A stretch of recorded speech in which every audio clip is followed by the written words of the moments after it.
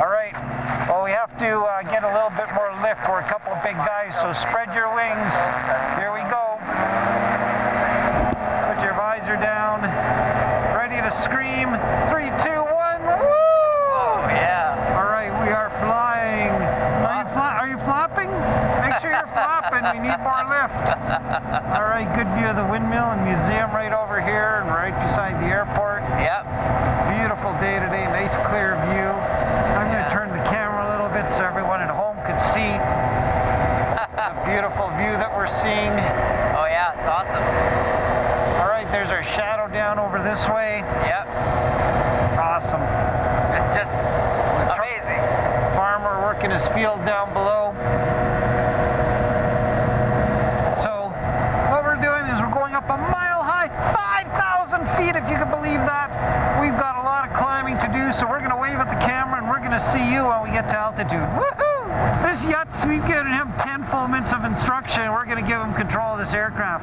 You figure that's a good idea? Look at he's grabbing on already. Well, let's see he, what kind of job he does, okay? So look at one of those peaks on the clouds and just keep you a really wiggly light touch. What you can do is try flying it. And you're doing an awesome job right now. That's perfect. See how late it is? Excellent. Beautiful. And a turn to our uh, right. So look at your right wingtip. That's enough. And just bring her around. And we'll get a nice panning view. Now we're a mile high. Let's look straight down. Ah! That's our sky high view. A mile high over uh, Steinbach, Manitoba. Having a great time flying. This guy, he has full control now. Let's do a left turn. So pull over to the left. That's perfect. See, we got smooth air finally. Remember down lower it was a little rougher? These are beginner conditions right now, so you're doing a fine job controlling it. Look at this, we're a mile high, 5,000 feet. Now I'm going to show you something really neat. Now this is your first time flying an aircraft. What I'm going to do is just throttle back here very slowly. So we're going to change from climbing to where we're gliding.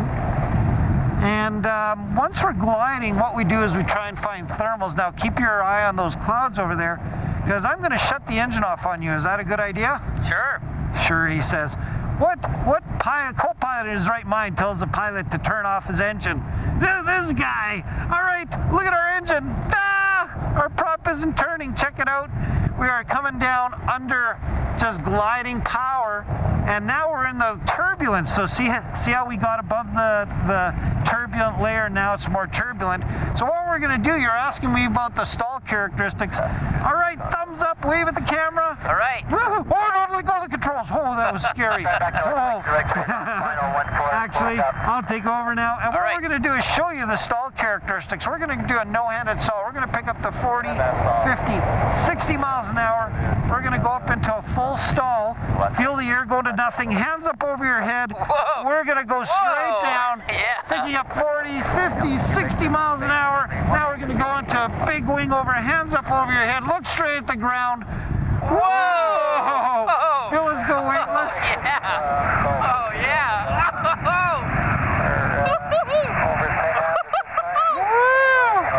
Picking up our speed, doing another big stall.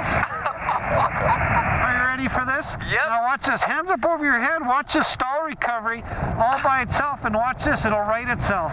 Oh, now wow. we're going to go into what's called the spiral drop of death. Are you ready for this? Sure, I'm ready. Okay, we're going to drop 2,000 feet a minute, and our engine isn't even on yet. Now feel yourself pushing down into the seat. Oh, yeah. Look at our varials right down to the bottom, pegged at 2,000 feet per minute sink, and look at we're down to 1,600 feet. Wow. We dropped that much in just a few seconds.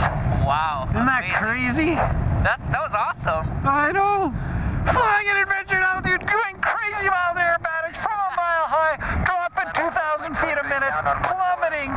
Wasn't that a blast? That was a blast. That was awesome. Check it out, www.altitude.ca. If you're not here, you're not having as much fun as you could possibly have this summer, that's for sure. Woo!